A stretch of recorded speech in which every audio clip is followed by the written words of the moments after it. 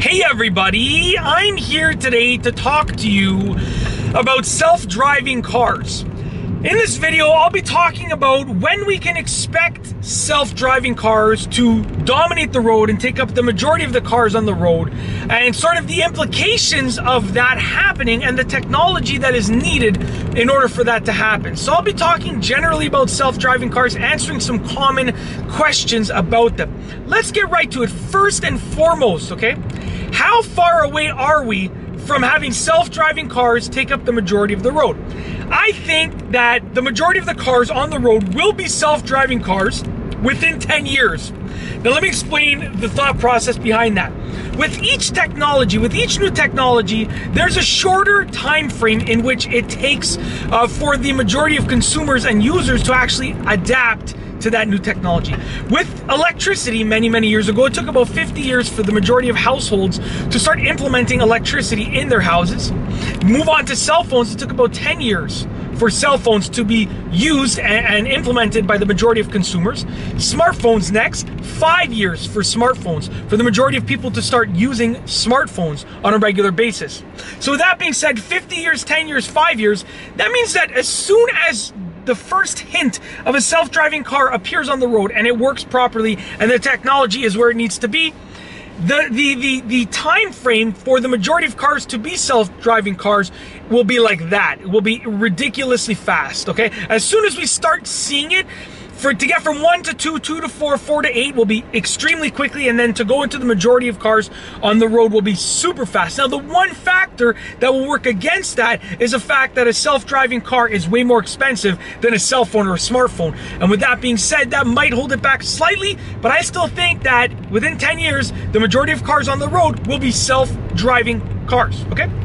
Next up on the list, what are the implications of self-driving cars? Well, fewer accidents, most definitely, because although nothing is perfect and computers still have errors, computer error is a, a, much smaller chance. There's a much smaller chance for computer error than there is for human error. And with that being said, self-driving cars will almost certainly get into way fewer accidents than cars that are driven by humans. So there will be fewer accidents. And with that being said, your insurance will change because how is insurance going to charge you a premium based on your driving skills and yourself as a driver when you're not even driving the car? So I think that insurance will be based on the car itself and how expensive the car is to replace and the level of technology, of self-driving technology that the car offers.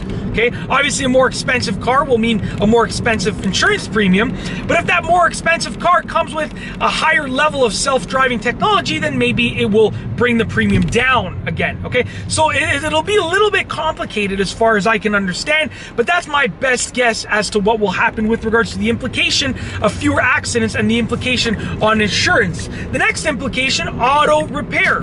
Fewer accidents means fewer repairs are needed, both with regards to body work and engine work, mechanical work. So with that being said, there will be less body repair and mechanical repair being needed for cars.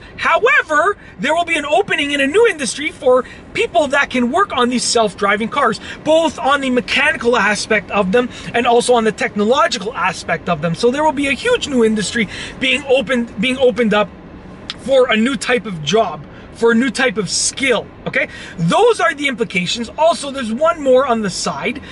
Commute time if you have cars that have a much slight, a much smaller chance of being in an accident and it's not based on human error, I mean, when they take a turn, they're going to take it at the appropriate speed. When they have to brake, they'll brake on time and so forth. You can travel at a much higher speed because that means if you're going in a straight line, you can travel at, let's say, 70 kilometers an hour, and then you have a turn the car knows to go down to 50 kilometers an hour and will not oversteer, will not understeer, will not spin out, will read the road conditions and so forth. So with all of that being said, you will likely be able to travel at a much higher speed. And that's because there's, there's no chance of human error. It's all based on computer uh, technological understanding of the road conditions and speed. And the chance of error, the mistake chance is so, so extremely, extremely, extremely small. So with that being said, there's another implication as well. Car's interior. If you think about the car's interior, right? Right now you have a steering wheel, you have a speedometer, you have a tachometer, you have a shift lever and so forth, okay?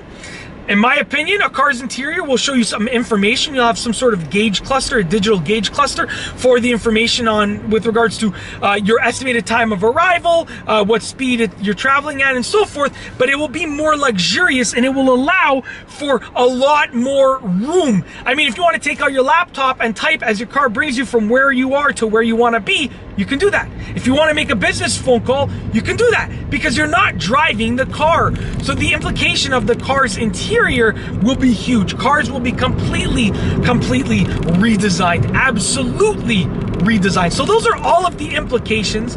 Those are uh, the time frames in which previous technologies have taken to actually get into households and consumers and, and the customers and so forth. And I think that as soon as we see a self-driving car on the road, it's gonna pick up like crazy. Now also, what technology is needed to have a self-driving car? Well, in my opinion, there are only a few technologies that are needed, but they have to be almost flawless, as close to flawless as possible. Okay, the chance for error has to be unbelievably small. Number one, you need a GPS technology that can read the roads and is updated on an hourly or a daily basis because if they're doing construction somewhere, you don't want your car driving you into a construction site or into a ditch or into a hole. It needs to be updated immediately and even in advance, meaning if they can update it when they know that construction will happen, that will be even better. But it needs to be updated maybe even by the minute, literally, very, very, very frequently, okay? You also need some sort of lane keeping technology that will keep you in a lane, that will read future road conditions, meaning if you are driving on a dry road right now and you're about to hit a puddle, it needs to read that. The computer and the cameras need to read that. So you need a lane keeping technology, you need a road condition type of reading technology as well. You also need uh, perfected auto acceleration and auto braking. So meaning the computer or the technology has to be able to read how much to accelerate, how to do it smoothly, because if you're being driven around, you want it to be smooth.